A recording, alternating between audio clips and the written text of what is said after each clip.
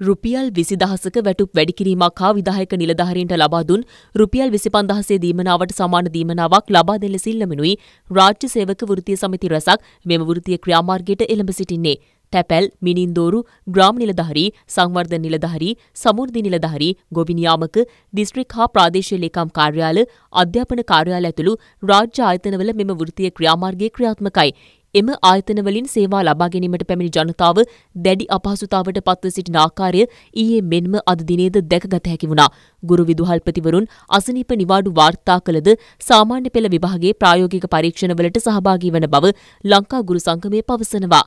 අද මේ වෘත්ති ක්‍රියාමාර්ගයට ඔහුන් ඇහුම්කම් දුන්නේ නැත්තම් හෙට දිනේ අපි සමස්ත රාජ්‍ය සේවේ අර්ධ රාජ්‍ය සේවේ වෘත්තීය සමිති සහ ගුරු විදුහල්පති වෘත්තීය සමිති සන්ධානය සමග ඒකාබද්ධ සාකච්ඡාවක් සංවිධානය කළ තිබෙන. අපි ගන්නා වූ දැඩ්ඩි වෘත්තීය ක්‍රියාමාර්ගවලට පිවිසනවා මේ තත්ත්වය තේරුම් ගත්තේ නැත්තං ඒ ජයග්‍රහණයෙන් මිස අවසං කරන්නේ නැති බව මේ වෙලාවෙදී ප්‍රකාශ කරන.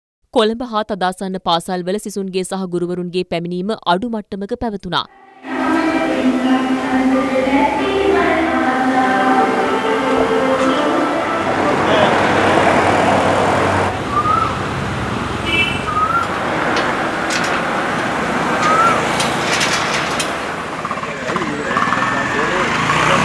පන්ති අහලා ස්ට්‍රයික් කියලා නෑ කිව්වා. අද ඒතකොට හවස එකමාරකම් ඉන්න ඕනේ මෙතන. ඔගොල්ලෝ අතර මං වුණා නේද?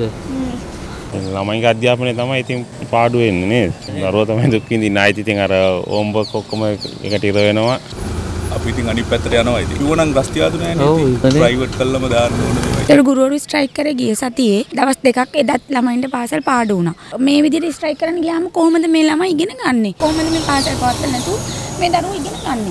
ගැනීම තමයි ප්‍රශ්න තියෙන්නේ. ළමයි තමයි අපහසුතාවයට පත් වෙන්නේ. ගුරුවරුන්ට මීට වැඩිය හිතන්න තිබුණා මේ ළමයින්ගේ අධ්‍යාපනය සම්බන්ධයෙන් මෙහෙම සෙල්ලම් කරන එක ගොඩාක් වැරදි. ඒක අසාධාරණයි කියලා මං කියන්නේ මානුෂික නෑ ඒක. වතුකරේ සියලු පාසල්වල කටයුතුද අඩාලව පවතිනවා. ගුරුවරුන්ගේ වෘතිය ක්‍රියාමාර්ගය පිළිබඳ කරුණු නොදත් දරුවන් පාසල්වලට පැමිණ ආපසු නිවෙස් කරා යන ආකාරයද දැකගත හැකි වුණා. මෙසේ දකුණේ සහ සෙසු පළාත්වල පාසල් දරුවන් වැඩවර්ජන හේතුවෙන් අසරණ වී සිටියත් උතුරු පළාතේ පාසල් සිය දෛනික කටයුතු පවත්වාගෙන ගියේ මේ ආකාරයෙන්.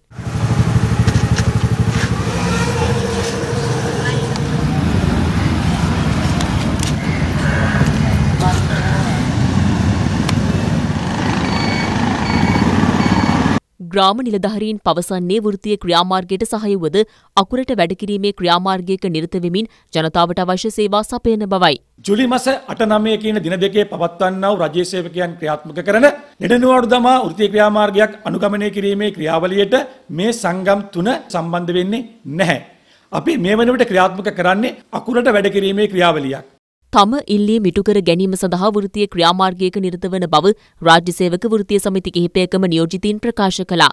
ඊයේ දිනේ අපි රටපුරා කරපු දැවන්ත වැඩ දින දෙකක් නිවාඩු දාලා කරපු දැවන්ත වැඩවර්ජනය ඉතාම සාර්ථක විදිහට කරා රාජ්‍ය සේවකයාට දෙන්න තියෙන මේ විසි පන්දහා හිමිකම වහාම ලබාදිය. හෙට දිනේ සියලුම ෘත්තේ සමිති නැවත කැඳවලා දැවන්ත වැඩවර්ජනයකට යන්න අපි සූදානන් වෙනවා කියන එක පැහැදිලිව ප්‍රකාශ කරන්න කැමති. පැහැදිලි උත්තරයක් දෙන්න නැත්නම් හෙට රැස් වෙන වෘත්තීය සමිති වලින් සමස්ත මහා වැඩවර්ජනයකට යන්න සාකච්ඡාව අනිවාර්යෙන් අපි ගන්නවා. බෙලියත්ත තැපැල් කාර්යාලයේ සේවකීන් සාමාන්‍ය පරිදි සේවයේ නිරත වන ආකාරයයි දැකගත හැකි වුණේ.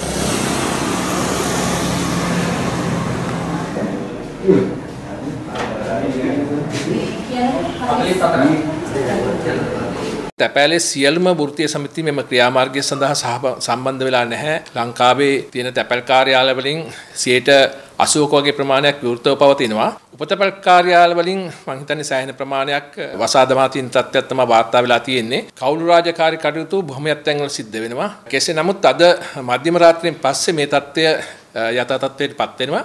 වර්ජනය පැවතියද ඇතැම් රාජ්‍යායතනවල සේවාවන් සිදු වූ බවයි අප වාර්තාකරුවන් සඳහන් කරන්නේ. ගොඩකවෙල ගොවිජන සේවා මධ්‍යස්ථානයේ කෘෂිකර්ම නිෂ්පාදන පර්යේෂණ නිලධාරීන් සියලු දෙනාද සේවයට වාර්තා කර තිබුණා. ඉතින් අපේ කාර්යාලය ඇරලා ඉතින් අපි වැඩට ඇවිල්ලා තියෙන දේවල් කරනවා. ඊයේත් වැඩ.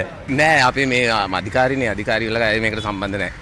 වැඩ වාදනේ තියෙන එකටකින් හොඳයි. අවුලක් නෑ. ඔව් කට්ටිය ගොඩක් අඩුයි. වර්ධන තමයි ඉතින් අපිට ඔයාලට ගියාම අන්තිමට මේ මේ රසාවත වෙන ටික. අපි සෙමි ගවර්න්මන්ට් අපි ඉතින් ස්ට්‍රයික් කරන්නේ. අපි වැඩ අපි වැඩ. ඔව් කන්තුරු ඇරලානේ. නවත්තන්න කියලා නෑනේ. අපි වැඩ. රාජ්‍ය ආයතන කිහිපයකින් සැදුම්ලත් බත්තරමුල්ල සෙත්සිරිපාය මෙන්ම ආගමන විගමන දෙපාර්තමේන්තුවේ මධ්‍යම තැපැල් හුවමාරුව විභාග දෙපාර්තමේන්තුව ඇතුළු රජයේ ආයතනවලින් සේවා සපයා ගැනීමට පැමිණි ජනතාව දැඩි දුෂ්කරතාවට පත්ව සිටින අයුරුයි දැකගත හැකි වුණේ. ඊයේ තාවයි අහලා හැට අරනවා කියලා එතන නෑ ඇවත් නෑ. අද වාලා කියලා කියන්නේ එට තරනවාද කියන්න බෑ. මේ මන් දන්නේ මේ වලට වග කියන්න කවුද ඉතින්? පඩිය ඉල්ලන්න රජෙන්නේ. අහිංසක දුප්පත් මිනිස්සුන්ට මේ මේ මේ හිංසා කරලා වැඩක් නැහැනේ. පඩි වැඩිත් කරානේ මං හිතන්නේ මේ දැන් මෑතකදී. රාජ්‍ය සේවය එහෙම කරන්න හොඳ නෑ මේ දුප්පත් මිනිස්සුන්ට. අපි අහිංසක අපි අපහසුතාවයටපත් නොකර අපිට සේවය කරලා දෙන්න කි. බදු ගන්න ඕන කැමති නෑ ඒකයි. ඒ හින්දා මේ තියෙන පඩියෙන් දැනට වැඩ කරගෙන ගියා නම් හරි ඉතින් අපි ඉල්ලා සිටින්නේ මේ වගේ වෙලාවට මේ අමාරු තත්ත්වයකදී ඒ අසාධාරණ වැඩ කරන්නේ නැතුව මිනිසුන්ට සේවයක් කරන්න කියලා. කියන්න ඕනේ මේ වැඩ කටයුතු එතුමා බලයට අතරම් මේ අරගෙන පෝලින් නැති කරා වගේ මේ රාජ්‍ය ක්‍රියාවලිය යාන්ත්‍රණය විධිමත්ව හදලා අවශ්‍ය විදිහට මහ ජනතාව අපහසුතාවයට පත් නොවන විදිහට කටයුතු කරගෙන යන්න. මහ ජනතාව හැමෝම ඉන්නේ මේ දැඩි අපහසුකකින් ඉන්න වෙලාවක හිල්ලීම සාධාරණ නැහැ. පීඩා විඳින ජනතාව මේක හෙලා දකිනවා මේගොල්ලන් මේ පඩි වැඩි කර ගැනීම සඳහා මේ කරන වෑයම මිනිසුන්ට කරන හරිම අසාධාරණ කාරණයක් ඒ නිසා ගරු ජනාධිපතිතුමනි දැඩි තීරණ අරගෙන දැඩි දනුවම් දෙන්න. දිවයින පුරා ක්‍රියාත්මක වන වැඩවර්ජන සම්බන්ධයෙන් විවිධ පාර්ශව මෙලෙස අදහස් පළ කළා. මේ රටේ ඇතිවෙලා තියෙන දේශපාලන සමාජීය ආර්ථික අර්බුදය සමහර උදවිය සමහර වෘත්තිය සමීති දඩමීමා කරගන්නවා අපේ දරුවංග සහ ගුරුවරුන්ග. මෙවැනි තත්ත්වයක් ඇති නොකරගෙන මේ සාකච්ඡා මාර්ගයෙන් මේ ප්‍රශ්නය විසඳගන්නවා නම් ඉතාමත්ම හොඳයි කියන එක තමයි කියන්න තියෙන්නේ. රටේ මර්මස්ථාන විදියට තියෙන ආයතන දෙපාර්තමේන්තු සහ අමාත්‍යංශවල 100%ක් සාමාන්‍ය විදියට රාජකාරී පවත්වාගෙන ගියා කියන කාරණේ තමයි අපිට පේන්නේ.